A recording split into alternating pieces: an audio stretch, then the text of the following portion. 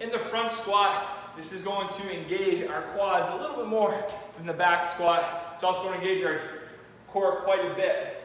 Now, the one thing with the front squat that can be difficult is getting the grip, um, which would be for another video, but I'll show you today a few methods to do that. So, now generally when you do a front squat, it will be racked in a bar in front of you.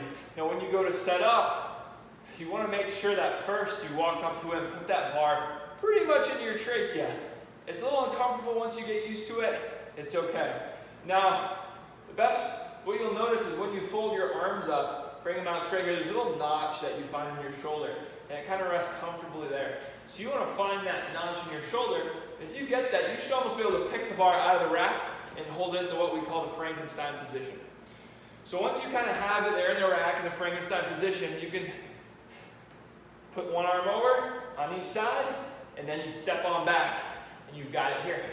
Now what we're going to do is get into that regular front squat position or any squat position, my feet are about shoulder width apart.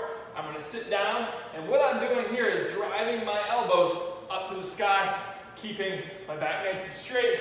I'm sitting down in the squat, and then popping up.